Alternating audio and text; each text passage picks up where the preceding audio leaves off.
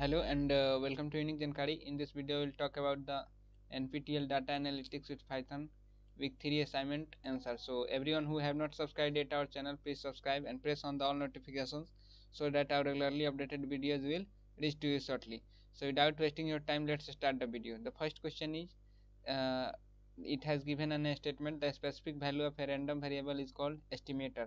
We have to mark as state true or false so the correct answer of question number one is option number eight. True. So everyone mark your answer. This is the correct answer. Next question is question number two. If the true proportion of customers who are below 20 years is p is equal to 0 0.35 what is the probability that a sample size 100 yields a sample proportion between 0 0.3 to 0 0.4 so this is the question number 2 and the correct answer of question number 2 is option number c 0 0.706 so this is the correct answer next question is question number 3 stratified random sampling is a method of selecting a sample in which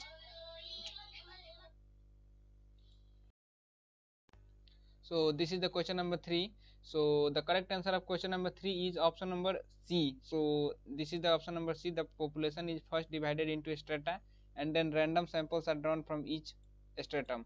So this is the correct answer. Next question is question number 4 this is an statement. Uh, sorry this is a statement a statement is a population is a set of all items or individuals of interest.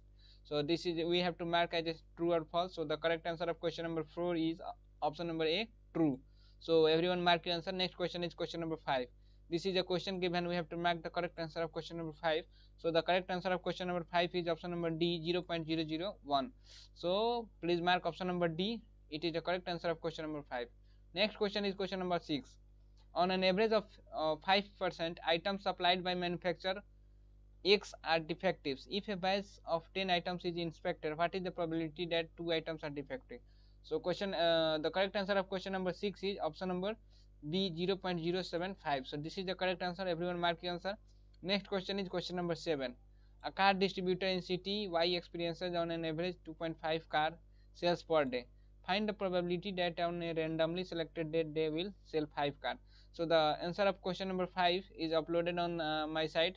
You can see here, sorry, answer of question number 7 is uploaded on the link provided in description. So you can visit from the uh, description box link. Answer is updating on site and before YouTube.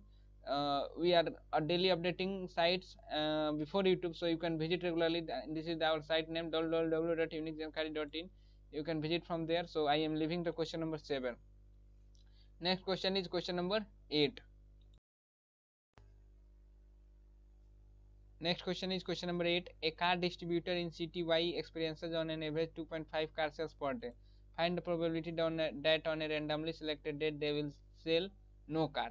So the correct answer of question number 8 is option number C 0.082. So you have to mark this answer.